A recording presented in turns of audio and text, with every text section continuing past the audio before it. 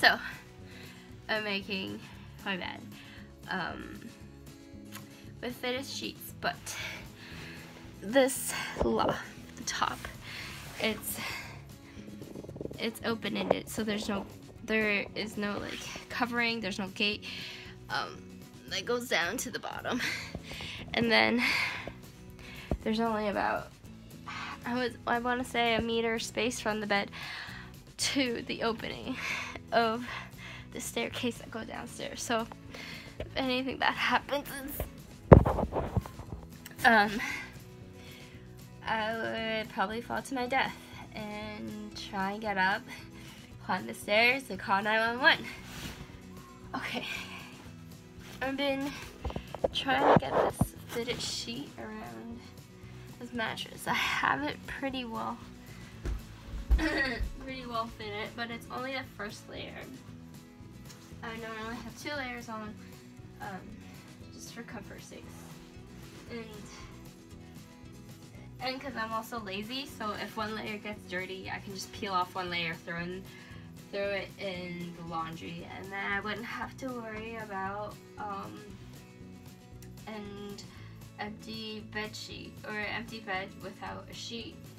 Um, but yeah, it's I'm on my first I'm on my first one, um, and I'm way too scared because for the whole entire time that I've been making this bed, I've been thinking, my landlord who ex-girlfriend who used to live in this loft, the reason why that she probably moved out is because one, not because she broke up with him or he broke up with her, it's probably most likely she fell to her death.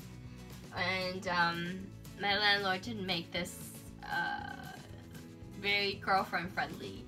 Number two, I don't know. It's just, oh, I'm so, I'm just not ready to fall to my death today. I don't want to die. You know, that would be such a bad way to go. Like, falling to your death, making a bed with fitted sheets. They're not even like Egyptian cotton sheets, they're just cotton. Anyhow, um, today I went to the Dawson City Museum. There was, it's more historical rather than cultural. Um, it doesn't have a lot of the um, incorporations of how um, the First Nations involvement. This just has more of just the mining aspect of it and how the the founders um, of the miners who found gold in Yukon. So, um, that's it. And what else happened today? Yeah, that's it. Um, I'll just keep making my bed. Oh, I also twisted my ankle. And I've been I've been needing to go to okay, so the thing about the boardwalk and I'm, my friends have been really pegging me about um, walking like a maniac um, in the middle of the street here in Dawson. But the thing is, I like walking on the pavement in the middle of the street is because it's comfortable. In the boardwalk, it's really uneven and so, and they're different heights. So what happened was when I was walking from down from the boardwalk to the pavement, I had twisted my ankle over here. And so it's a little bit, I think there's a little bit of, not a fracture, it's just sprained. Um, but yeah, that's it. And so I have to make a appointment to go see the doctors and um, yeah, I'm probably get like a tensor band from the pharmacist. Uh, so that's about it. And I also looked into staying here for next summer. A lot of the people who are here for the summer, they're migrating to Whitehorse or to wherever they came.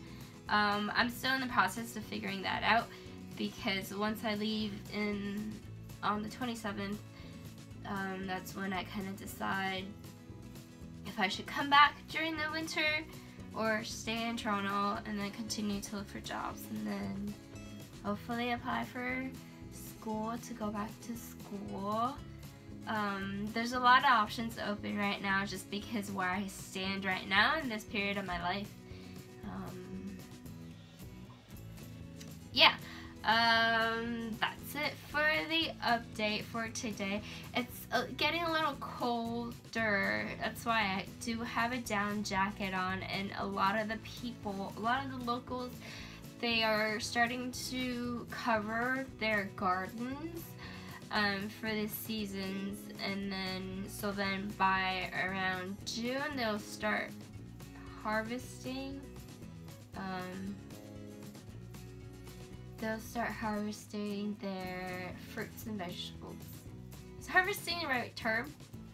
I know germinating is kind of when they start growing little little seeds but harvesting is that picking anyhow um yeah so that's it and um, other updates, anything else, I guess it'll be for the next video. Thanks for watching. Um, if you want to, you can think about subscribing, but it's not a big deal. Um, bye!